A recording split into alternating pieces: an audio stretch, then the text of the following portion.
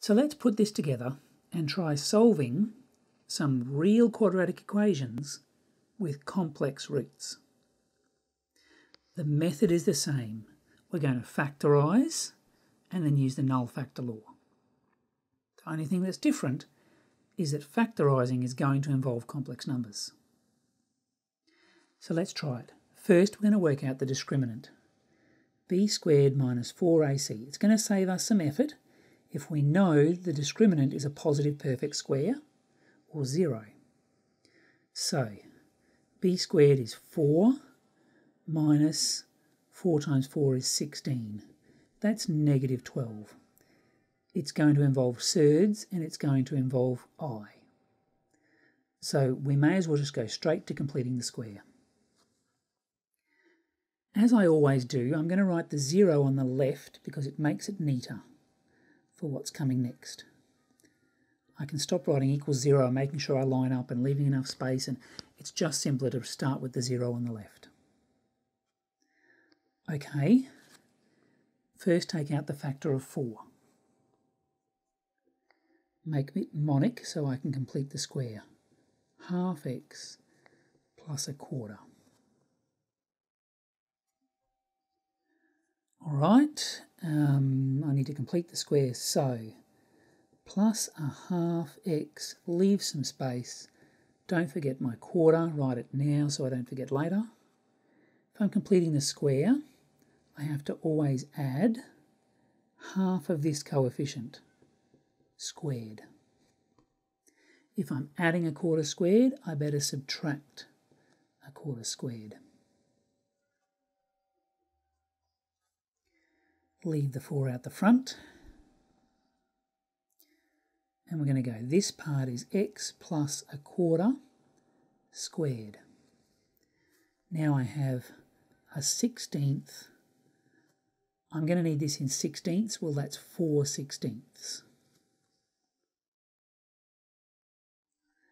So, 4 times x plus a quarter squared minus 1 plus 4 is plus 3 sixteenths. Well, it's a sum of squares, so we're going to solve it using complex, which we knew was coming anyway. And it's going to involve a third root 3, which we knew already.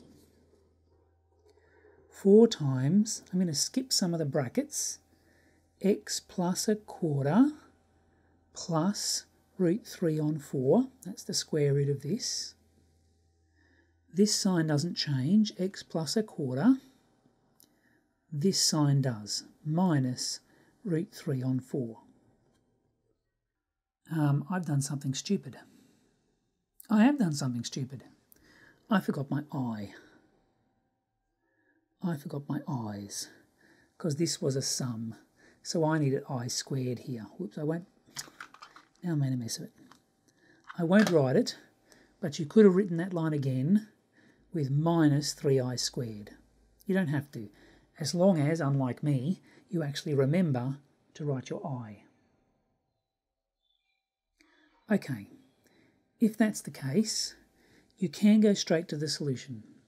From there, this is x minus something, and this is x minus something, so those are your two solutions because you probably haven't done this before, I'll actually write the extra line. You don't have to write this, but if you wanted to, you could write one more line, x minus, they're both over 4, and what are they? 1 minus i root 3, or root 3i, doesn't matter. And this one is x minus, no I haven't got it right, negative 1 minus i root 3. I'm making mistakes today um, negative 1 plus i root 3 all over 4. So now it's very clear those are my two solutions. Therefore, x equals negative 1 plus or minus i root 3 all over 4. Be very careful that you write your um, negative sign in the right place over the whole fraction um, you don't want the negative out the front, that would be a different solution. Because we know these are always going to be complex conjugates, you can write it with a plus or minus. Of course, there is another way to solve this quadratic equation, and that is to use the quadratic formula.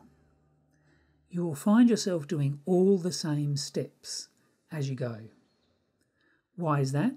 Well, it's because the quadratic formula, you can derive the quadratic formula, figure out what, it, what, what the quadratic formula is, by writing ax squared plus bx plus c and completing the square. Let me apply the quadratic formula to this equation. My equation was, I'm going to leave that there if I can, I'm not sure it'll still fit. 0 equals 4x squared plus 2x plus 1. Well, that means x equals negative b plus or minus the square root of b squared minus 4ac, which remember we worked out up here, negative 12, all over 2a.